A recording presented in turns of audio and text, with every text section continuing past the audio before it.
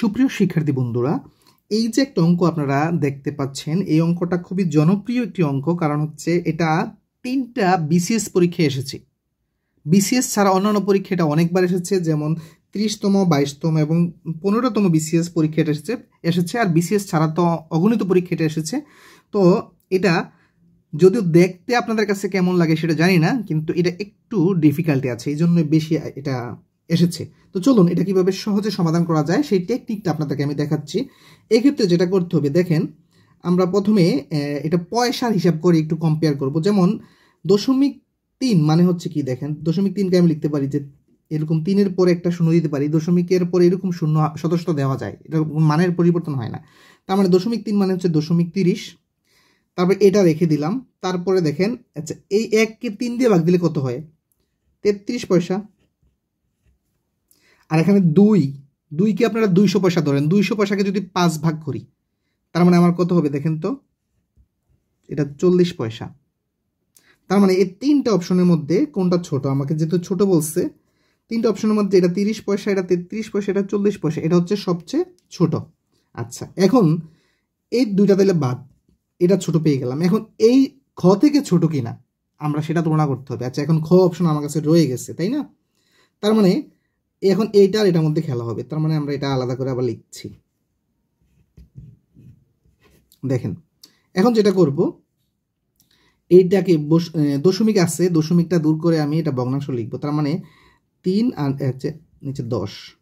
আর এখানে তিন আর দশ, আর এখানে কি? ইয়া, রোডটা রয়ে গেল। এখন যেটা করব, এই রোডটা দূর করার জন্য আমি স্কোয়ার করব দুইটাকে। দুটাকে স্কোয়ার করলে কি হয়? এটা এখানে দেখেন হচ্ছে উপরে নাইন হয়ে যাচ্ছে আর নিচে একশো হয়ে যাচ্ছে। আর এটা রুট স্কোয়ারে কাটা চলে যাচ্ছে, তার মানে থাকতেছে কত? উপরে তিন আর নিচে একশো। এখনও কিন্তু দুইটা মানে আমি বুঝতে পারতেছি না কোনটা ছোট বা কোনটা বড়।